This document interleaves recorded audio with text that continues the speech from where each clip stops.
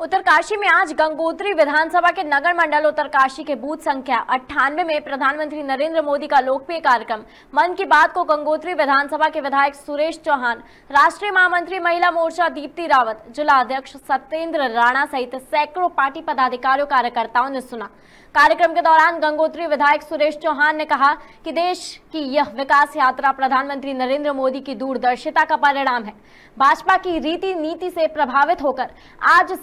की संख्या में विभिन्न दलों के लोग भाजपा में शामिल हुए हैं। भाजपा परिवार सभी सम्मिलित हुए साथियों का स्वागत करता है। उत्तरकाशी से विनीत कंसवाल की रिपोर्ट। हमारे देश के यशस्वी प्रधानमंत्री जी का जो सबसे लोकप्रिय कार्यक्रम है जन जन से जुड़ा हुआ कार्यक्रम है, मन की बात का कार्यक्रम, उसका 110वां एपिसोड है और वो हमारी जनपद की बहुत ऐतिहासिक जगह है, बहुत ऐतिहासिक स्थल, सांस्कृतिक रूप से। बाबा काशी विश्वनाथ जी के मंदिर में वो कार्यक्रम का लाइव प्रसारण हो रहा है और उसमें यहाँ का पूरा जनमानस उसको देखने के लिए, उनको सुनने के लिए यहाँ पर आया हुआ है। और, निश्चित रूप से आज भारतीय जनता पार्टी लगातार जिस प्रकार से हर क्षेत्र में काम कर रही है उन सारी बातों को लेकर के माननीय प्रधानमंत्री जी से प्रभावित होकर के माननीय प्रधानमंत्री जिस प्रकार से देश को आगे बढ़ा रहे हैं, देश के हर क्षेत्र में विकास कर रहे हैं, हर वर्ग के लिए जन कल्याणकारी योजनाएँ लेकर के आ रहे हैं तो माननीय प्रधानमंत्री जी के नेतृत्व से, भारतीय जनता पार्टी की विचारधारा से प्रभावित होकर के अनेकों लोग भारतीय जनता पार्टी में आ रहे हैं और हम सब भी उनका सबका स्वागत कर रहे हैं, उन सबका अभिनंदन कर रहे हैं कि आप आइए और देश के साथ जुड़िए, देश के विकास के साथ जुड़िए।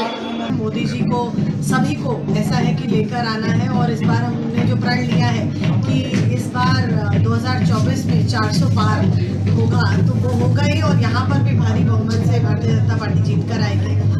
हम लोग केवल चुनाव के समय आने वालों में से नहीं है, भारतीय जनता पार्टी वो है, जिसका कार्यकर्ता हर वक्त, हर समय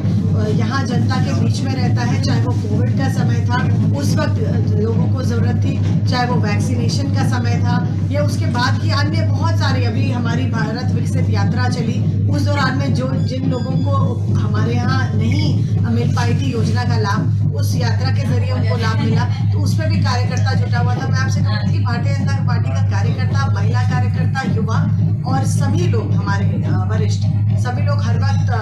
बिल्कुल तैनात अपने उस पर रहते हैं। तो हम अच्छे बदमत से यहाँ जीत कर आएँगे।